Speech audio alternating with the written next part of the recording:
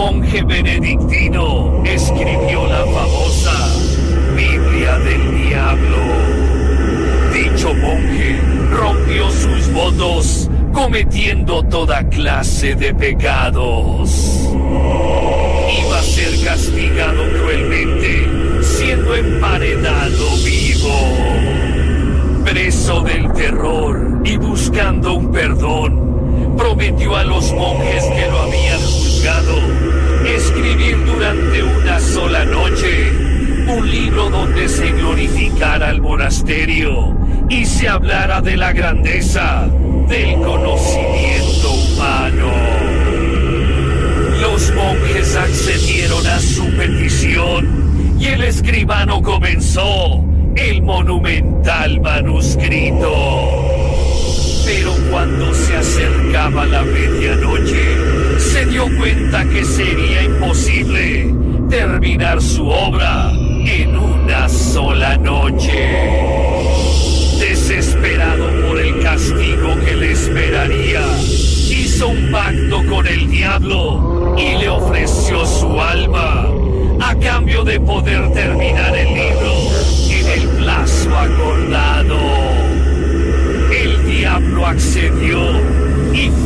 Mismo quien terminó el manuscrito. Mientras el monje solitario añadió en la página 2 del misterioso libro el dibujo de Satanás como agradecimiento por haberlo ayudado. El libro existe.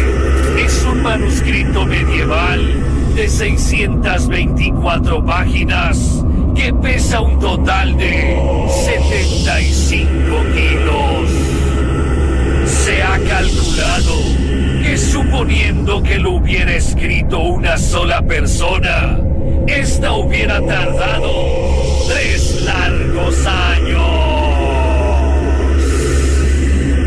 La Biblia del Diablo fue escrita en latín por el monje Germán el Recluso en la República Checa en el año 1230.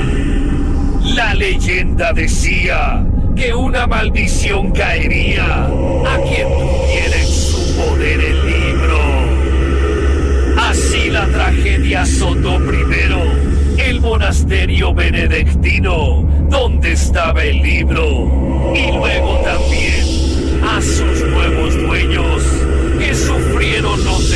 estragos de la leyenda. A esta también se le conoce como el código del diablo. Tiene su leyenda y con ello guarda un gran misterio respecto a su origen. Es muy conocida una ilustración de Satanás en una de sus páginas.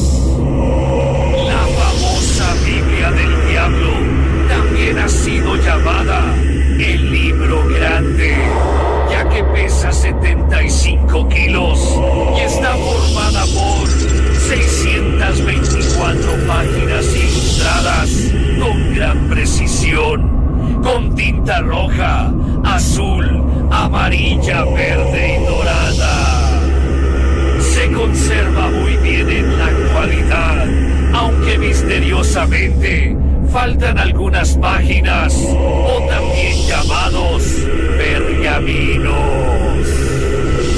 Aparte del contenido que aún no ha sido revelado o descifrado, el gran misterio radica en cómo y quién lo escribió.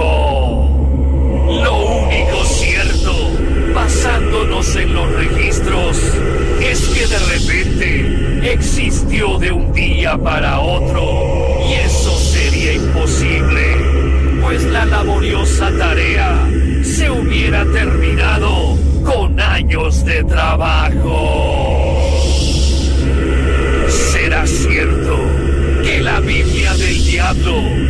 escrito por el monje Germán el Recluso.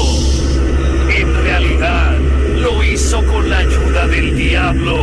El monje fue de alguna forma poseído por Satanás. ¿Y cómo? ¿Cómo logró escribirlo en tan solo una noche?